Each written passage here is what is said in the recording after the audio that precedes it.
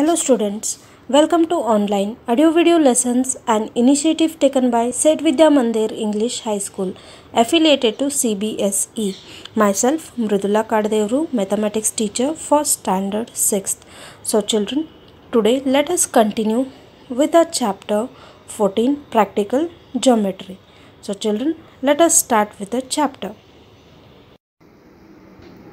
Children, let us start with exercise 14.4. First question Draw any line segment AB. Mark any point M on it. Through M, draw a perpendicular to AB. Use ruler and compasses. So, students, I have drawn a line segment AB and I have marked a point M on it. Now, use your compass with M as center and convenient radius take any convenient radius so i will take this one. Now what you have to do? Either you draw a arc or as i told you earlier just cut the line on either sides. Now mark this point as c and this point as d. Now the next step which you have to follow is with C and D as center.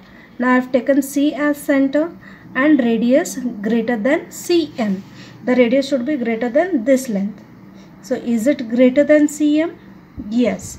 Now with this as radius, what you have to do? You have to cut it like this. And you can even cut it below. With the same radius and with D as center, draw an arc again such that the earlier arcs get bisected. Now, you have got two points here, one at the above and one at below. So, mark these points as E and F. Now, join these two lines and when you join, you see that the line passes through M.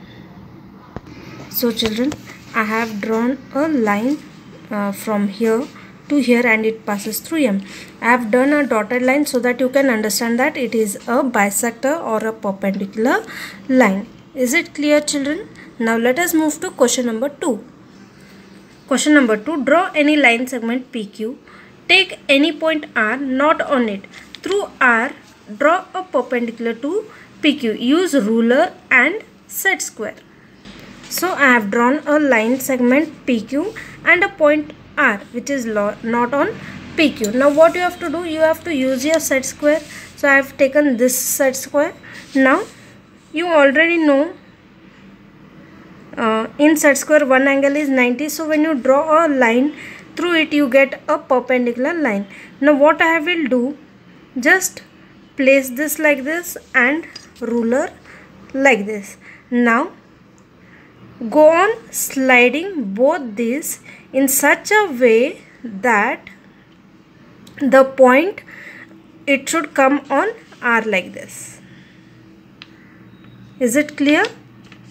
I am not able to hold it properly with one hand but you can do it with both the hands. You can see like this. Now what you have to do? You have to draw a line along with this side.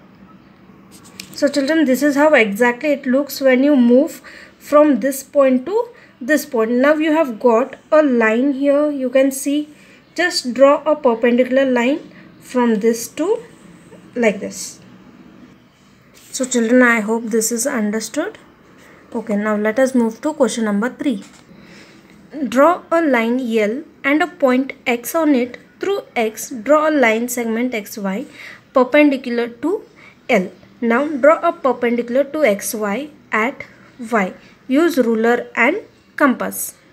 So children I have drawn the line L and marked a point X on it. Now through X I have to draw a perpendicular. So for that what we have to do? Take the compass and with convenient radius with X as your center draw an arc. Either you can draw complete arc as I shown here before or you can just cut the line on either sides. like this. Now mark these points as A and B. Now with A as center and radius more than AX slightly longer or larger yes now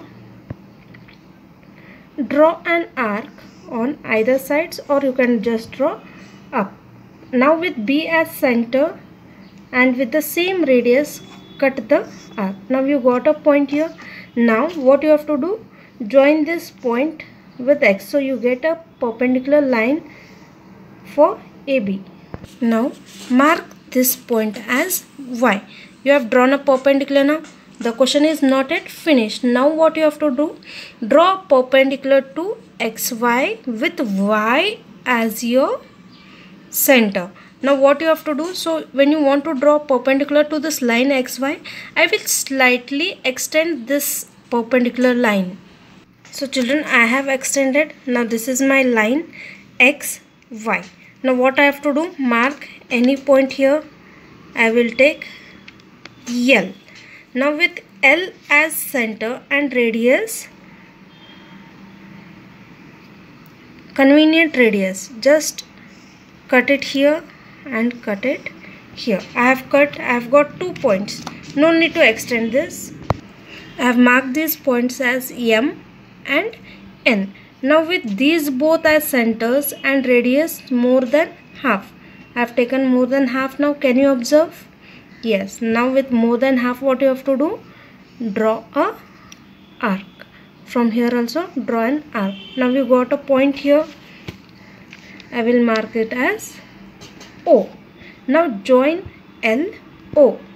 So now we got the perpendicular LO to the line XY so children we have drawn two perpendiculars here. Don't get confused. The first one is the perpendicular to the line AB along with X.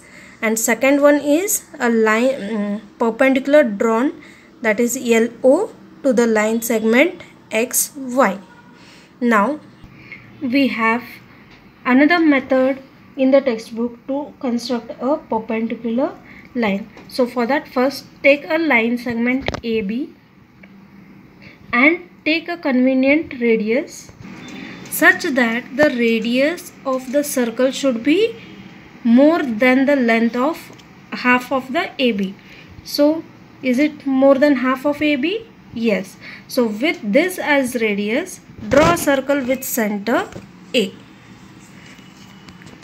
So children observe I have drawn a circle and with the same radius what you have to do with B as center draw again a circle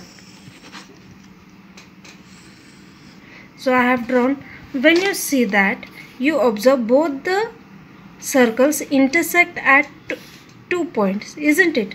Now join this line. Now this line is called as a perpendicular to the line segment AB this is another method. So try to practice it